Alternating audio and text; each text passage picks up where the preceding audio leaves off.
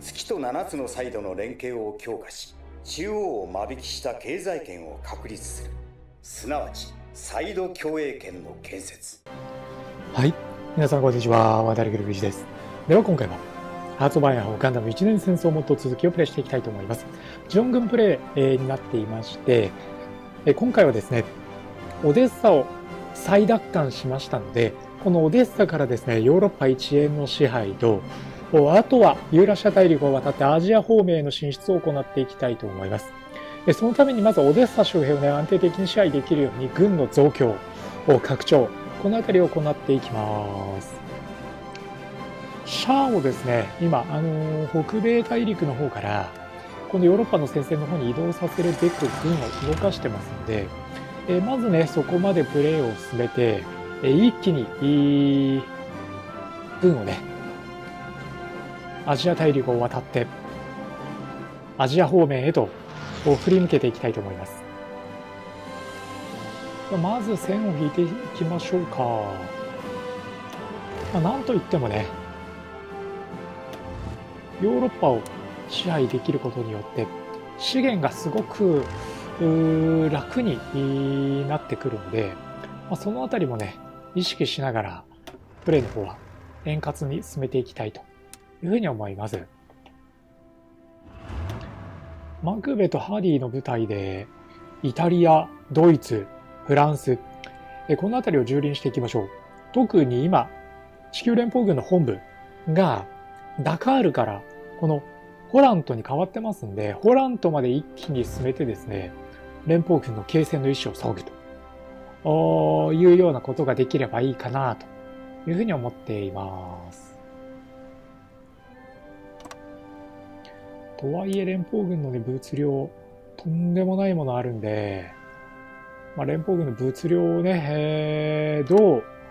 おまあ、しのいでいくか、ケアしていくかっていうこともね、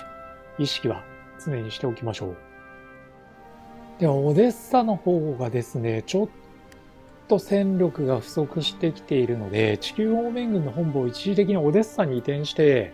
えオデッサに直接部隊を下ろせるようにしていきましょう。このゲームでは本拠地に部隊をね、えー、まあ、徴兵した部隊を下ろすっていうことになりますので、今北米ニューヨークにある拠点をオデッサに一時的に移します。これによってオデッサに直接部隊が下ろせるようになります。まあ、未熟な新兵であってもこれで、えー、いきなりね、戦線に投入するということになりますけども、今部隊数が足りていないので、えー、優先的にね、え、行っていきます。まあ、まあ、舞台の質よりも面的にカバーできるね、そういう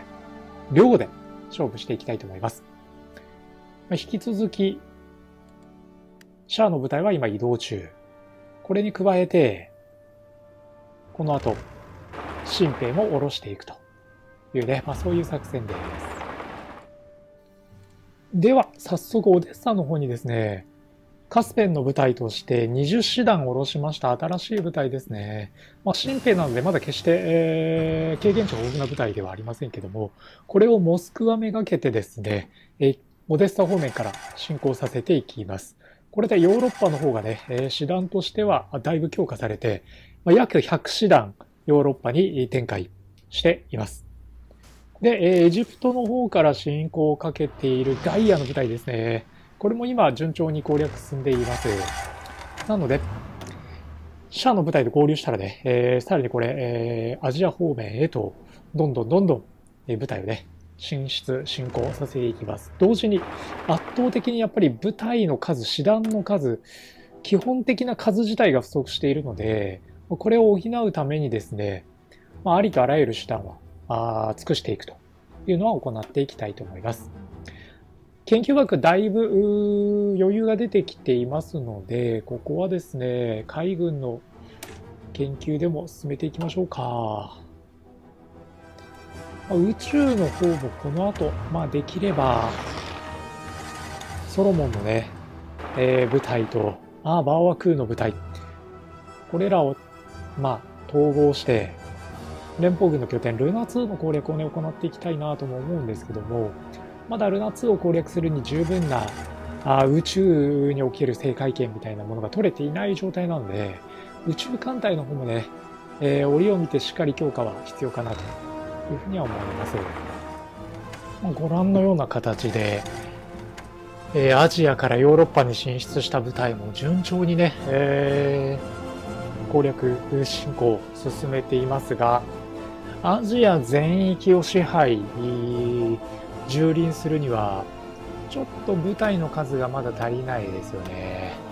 これどうやって部隊の数、まあ、増やすかというのが少し大きなポイントになりそうな感じがしますね。あと、ガトーの部隊はですね、まあ、言ってみれば、あの、遊撃部隊ということで、強襲上陸されたり、降って湧いたりした敵をを叩いてもらうのに使っています。なので、ガトーの部隊空いてるじゃないかっていうのはあるんですけど、これは本当にもう、必要不可欠な余剰のね、えー、遊撃隊になってますんで、これ以外のところでどういうふうにやりくりするかっていうのがね、ちょっと難しくはなってきてますね。で今、輸送船の数が完全にゼロになってしまったので、えー、これ、民間船長用しましょう。500隻、無理やり、よこせということができるので、ここはちょっとしょうがないですね。どうしても今、鉄すらも不足していて、それを輸入することもできないというね、状態になってしまってるんで、これを防ぐために一度徴用しましょう。まあ、今、包囲殲滅戦を展開してます。これで一気に数を減らしましょう。ほぼほぼここまで来れば C は消した形にはなると思うんですけども、まあ、穴開けとくとね、え、そこから思わぬ出血をすることがあるので、まあ、確実に包囲戦を展開して、残ってる敵の師団を殲滅しておきたいと思います。これであらかた殲滅戦終わりかな。この後はね、安定的支配のため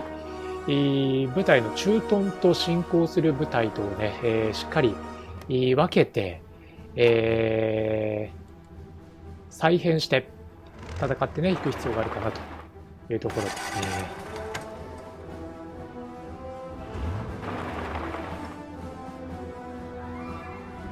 連邦軍の首都がどこに、本部がね、どこにったかっていうのは、ちょっとこの後確認をしておきたいと思います。連邦軍の総本部は九州長崎に移ってますね。これは先が遠そうだな。長崎まで行軍するのはだいぶ時間かかりそうですね。えハーディの部隊はこのままフランスからスペイン、マドリードへ。えマクベの部隊はシチリア島までね、イタリア半島を進軍してもらおうと思います。順調ですね。ただここに部隊を駐屯させる余力が今の時点ではないので、新しくまたね、徴兵したら、そこで部隊をこのヨーロッパ、特にイタリア半島なんかはね、周りが海に囲まれてるので、空襲上陸されやすいところになってきますので、この辺りに部隊をね、駐屯させていきたいと思います。まあ、肝心の徴兵の状況があまりよろしくなくてですね、訓練度が上がってきていないという状態です。訓練度を上げるボーナスが効くようなもう、処置というのがないので、まあ、このまま時間をかけて訓練が20%、25%終わるまで待ちたいと思います。シャアの部隊はあらかた集結完了しつつありますね。えー、集結完了したらですね、アフリカ大陸へと渡ってもらいたいと思います。では、ハーディの部隊でスペインを。で、えー、マクベの部隊をですね、イタリアから、あアジア方面、ロシア方面へと転身してもらいます。でシャアの部隊ももうすぐガイアの部隊と合流できると思いますので、ガイアの部隊と合流次第ですね、え部隊を展開していきたいと思います。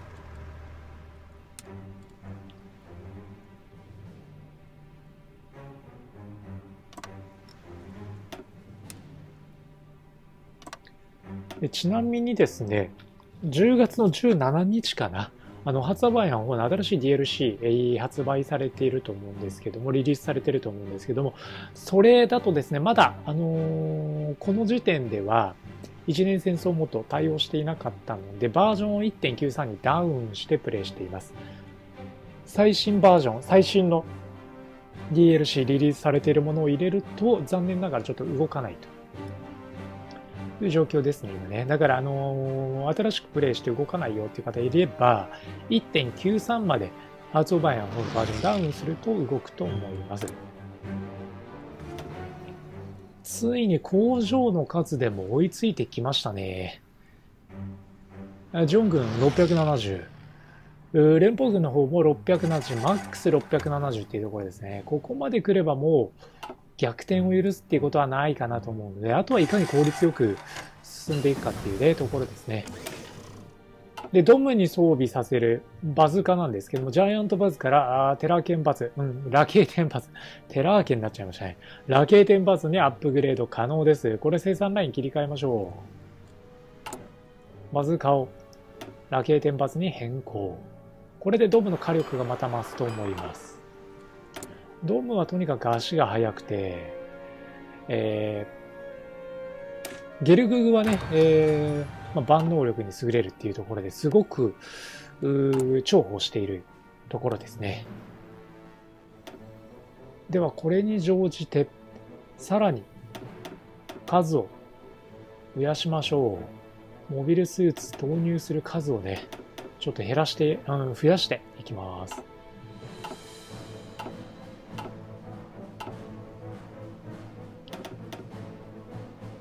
10師団ぐらいずつ一度に下ろせるようにしましょうか。ザクに関しては20ぐらい下ろせるようにしましょう。これで圧倒的な兵力を持って、えー、連邦軍で蹂躙していきます。では、シャアの部隊も到着しましたので、軍を再現、え、進行ルート、進行作戦も練り直しました。簡単にですけどご紹介をしていきましょう。まず、あのハーディの部隊はですね、ヨーロッパに駐屯させます。オデッサからローマ、パリ、マドリード、この辺りに展開させて、え、万が一連邦軍がね、ここに降って湧いて出てきた場合に、それに備えるために、ハーディの部隊はヨーロッパ一円いろんなところに分散させています。マークベの部隊はこのままですね、えー、北欧三国、ここに進行してもらいます。今ね、ガリガリ動いてますよね。カスペンの部隊はこのままあモスクワからですね、まあ、マップでいうところの右上この辺りへね進行をしてもらいます新松永の部隊はユーラシア大陸を堂々真ん中アジアに向かって進撃で新しくビッチの部隊を下ろしましたこれ22師団ですねビッチの師団も同じくですね新松永の部隊と同行してもらいます続いてガイアですが、ガイアは中国方面へ。で、シャアも到着してますので、シャアはインド方面へと動かします。ガトーはアフリカ大陸で待機。えー、敵の反撃に備えます。洋上戦力ですね。で、ビッターとランバラル隊はアメリカ大陸、南米大陸、ここの守護に当たってもらいます。では、これでしばらくゴリゴリ押していきましょう。はい。ではちょっと今回ね、あんまり実況をできていない部分もあるかと思うんですけども、えご覧のようにアジア大陸方面、え中国の方に侵攻、インドも半分以上で、制圧したというところまで進めています。残っている本当に中国と東南アジア、オーストラリア、この辺りの制圧を進めてですね、連邦軍の残る、えー、この日本、九州の長崎を目指していきたいと思います。で、え宇宙の方なんですけども、あんまり動きがなくてですね、これが宇宙ですね。まあ、世界圏としては、大気圏、えー、ここは取れてるんですけども、ルナ2までの安定的な航路が確保できていない関係からですね、ルナ2に強襲上陸ができないという状態が続いています。